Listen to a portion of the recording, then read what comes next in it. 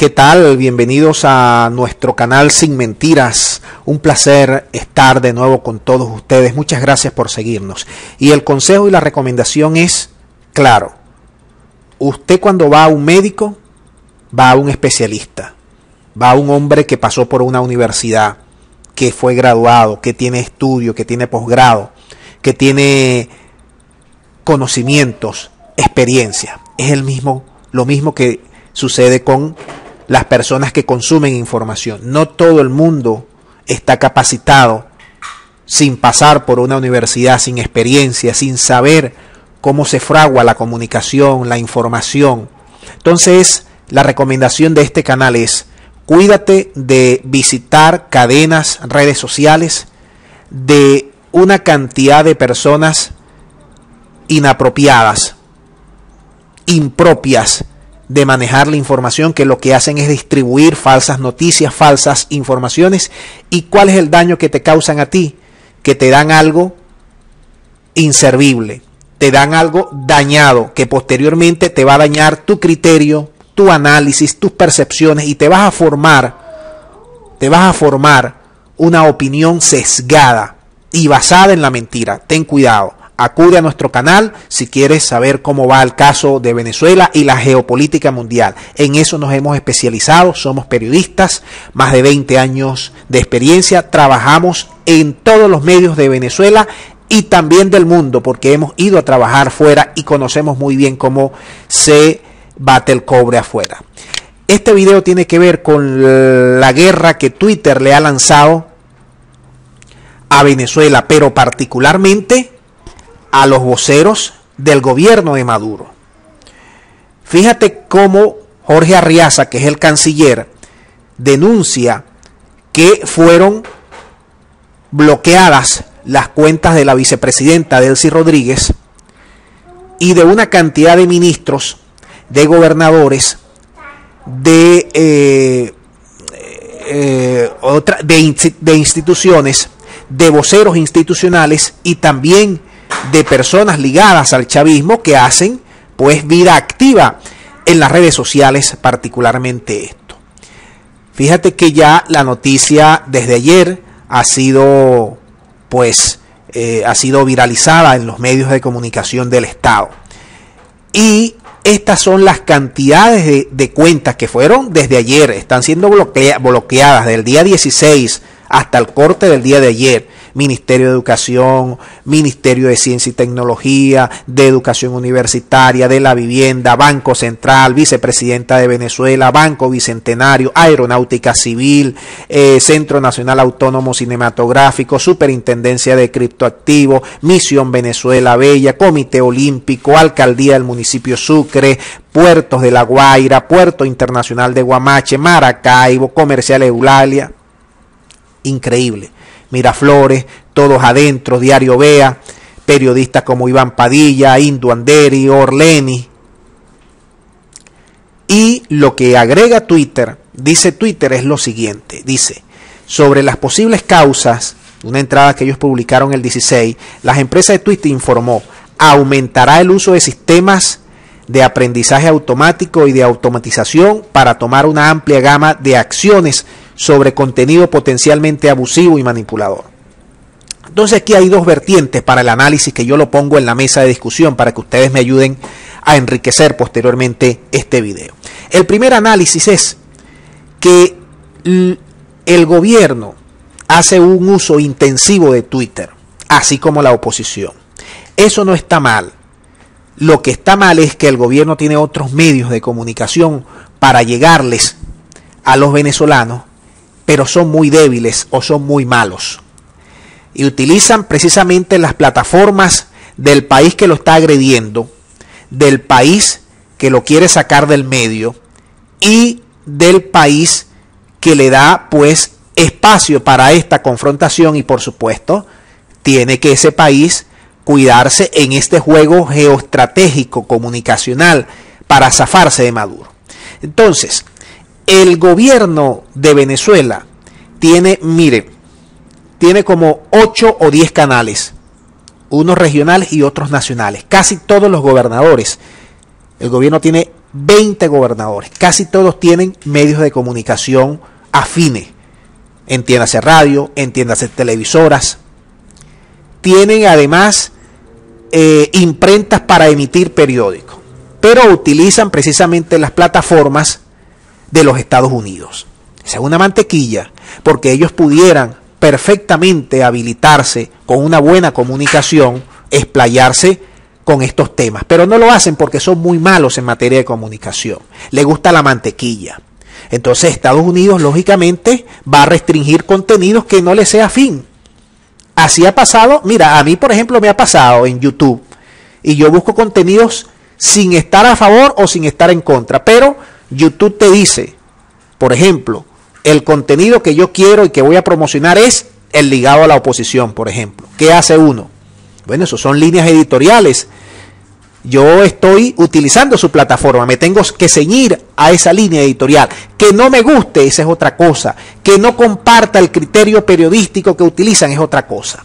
Entonces el gobierno, que tiene tanto dinero y ha tenido tanto dinero y lo ha malbaratado, se lo ha corrompido no ha creado en estos 20 años de lo que ellos llaman revolución unas plataformas que les permitan una identidad propia. China, por ejemplo, la tiene. Rusia, por ejemplo, la tiene. Turquía y otros muchos países que sabedores del daño que le hacen los contenidos de Estados Unidos a sus, a sus países, bueno, han buscado manera de equilibrarlo o por lo menos de filtrarlo. Pero aquí no, aquí viven eschillándole a los Estados Unidos, diciendo que el imperio, que esto, que lo otro, pero no hacen nada, absolutamente nada para tratar de formular una red de comunicación que le pueda poner cara o le pueda plantar cara a, eh, a Twitter, pues o a, cualquier otra plataforma tecnológica. Aquí es intensivo el uso del WhatsApp, del Facebook, del Twitter, del YouTube y tal, y son plataformas estadounidenses. Entonces, si el gobierno venezolano quiere efectivamente lanzar información, tiene que buscarse la vida por su lado, dejarse estar dependiendo. Además, miren, el Twitter en Venezuela tiene una alta penetración, pero no del 100%. El Twitter de los bastiones y de las personas a los cuales el gobierno se dirige más, que tiene que ser los más desposeídos a todo el país, pero sobre todo a ese, a, a ese foco social, no utilizan Twitter, porque aquí la red de Internet es muy mala, en primer lugar.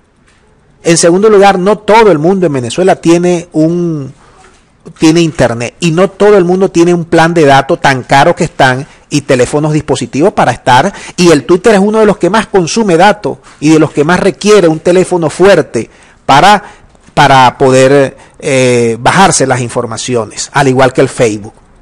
Entonces, ¿por qué hacen esa alaraca y no hacen buenos contenidos en Venezolana de Televisión, por ejemplo, que tienen allí 24 horas hablando la paja y sin contenidos de calidad. Puros contenidos malos, la mayoría.